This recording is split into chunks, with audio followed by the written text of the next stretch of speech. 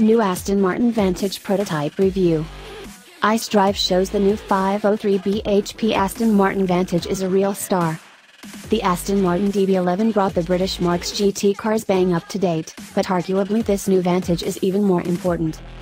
In the sports car class that the Porsche 911 has had sewn up for so long, the new Vantage could blow the market wide open, and we've already had a chance to sample its firepower. With the continuing tie-up between Aston and Daimler, the Vantage uses a 503 bhp 4.0-liter twin-turbo V8 usually found in potent AMGs, only here it's hooked up to a regular 8-speed auto compared with the 7-speed dual-clutch used in most Mercedes. On hand to explain why is Aston's chief engineer, vehicle engineering, Matt Becker. With a dual clutch you sacrifice low speed drivability, he says. This is a sports car, but it's still an Aston and it still has to be refined.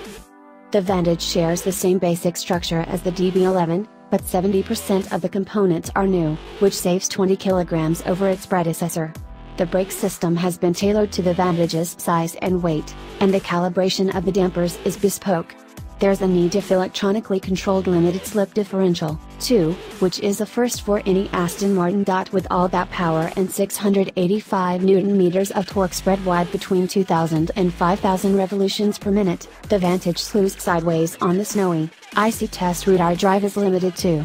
But even in these low grip conditions, there's a sense of balance and connection here.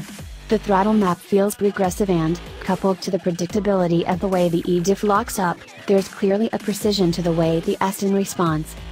It's difficult to get a sense of true steering feel or weight on snow, but with a linear rate set up the Vantage turns quickly and, yes, predictably. It sounds great, too, thanks to a wickedly bassy soundtrack when the sports exhaust is in track mode. While a snow drive can't give us a definitive verdict on where the Vantage stands in relation to the 911, on first impressions, Aston's new baby could have what it takes. Key specs Model Aston Martin Vantage. Price £120,900. Engine 4.0 liter twin turbo V8. Power slash torque 503 bhp slash 685 newton meters. Transmission, 8-speed auto, rear-wheel drive. 0 to 62 miles per hour, 3.5 seconds. Top speed, 195 miles per hour.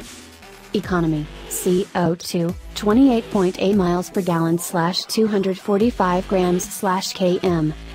On sale, now.